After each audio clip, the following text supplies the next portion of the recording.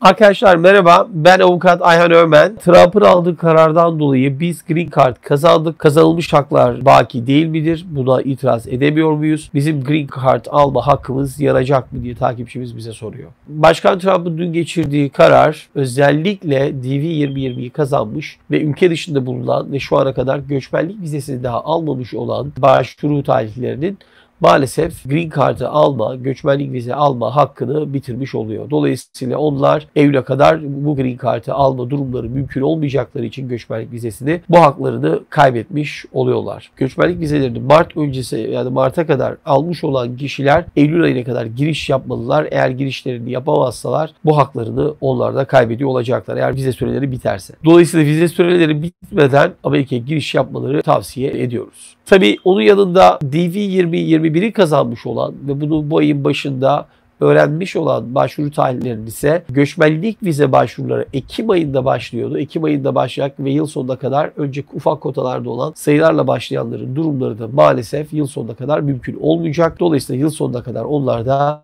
göçmenlik vizelerini alamayacaklar. Bu kararın ve kararnamenin geçmesini beklemeleri gerekecek. Eğer bu kararname uzatılırsa onların da şansı tehlikeye giriyor olacak. Dolayısıyla DV çekiliş vizelerini çıkmış olması sizin bunu kesin alacağınız anlamına gelmiyor. Dolayısıyla buna itiraz etme gibi bir durum maalesef söz konusu değil deyip takipçimizin sorusunu cevaplamış olalım.